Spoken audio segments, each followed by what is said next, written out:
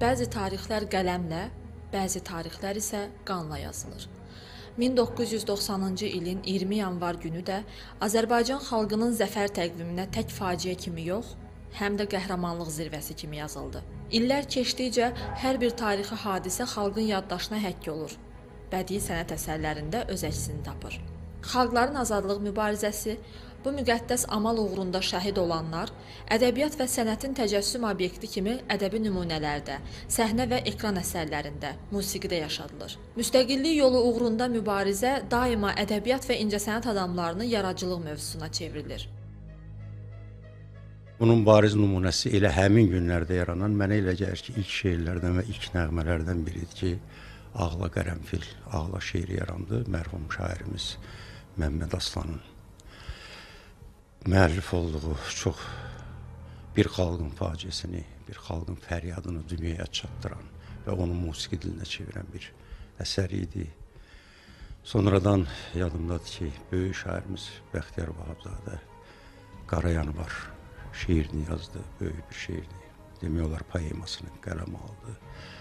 Sonra biz əlbəttə ki, Anar müəllimin Qarayanvara həsr olunmuş böyük əsərini gördük.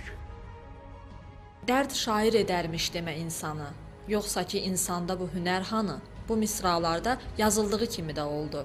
Yaşanan dəhşətli gün yazarlarımızın acılı ilham mənbəyinə çevrildi. O günlərin şahidi olan gözlərdən süzülən cümlələr ağ vərəqlərə göz yaşları ilə yazıldı. Ədəbiyyatımız hüzünlü tarixi ilə zənginləşdi. Adlarına şeirlər, povestlər, poemalar, romanlar yazıldı.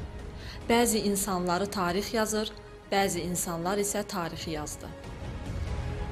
İlk qaranquşlardan biri mən onda Azərbaycan televiziyasında çalışırdım. Bizim görkəmli jurnalistimiz Rafiq Səməndər, o da uzun müddət Azərbaycan televiziyasında çalışıb. İlk qaranquş onun Qarayan var kitabı idi. Və təsəvvür eləyin ki, orada şəhid olan, Qarayan vardı, şəhid olan e, bütün insanların evlərini biz gəzdik. Bir-bir hamını dinlədik. Bütün o şəraitlə tanış olduq. O şəhid olanların, insanların e, ömür yoluna nəzər saldığı o kitab yarandı. Qarayan var kitabı. 20 yanvar bir faciədən daha artıqdır. O qəhrəmanlığın, vətənpərvərliyin, cəsarətin və əbədi məhəbbətin təcəssümüdür. Ölümü ilə ölümsüzlük yazan şəhidlər bir bəşər övladının çata biləcəyi ən yüksək zirvəyə ucalırlar. İllər, əsrlər keçir, amma bu ölümsüz qəhrəmanlar əsla unudulmur. Fidan Eldarova, Mirzə Abbasov, Səhər çağı.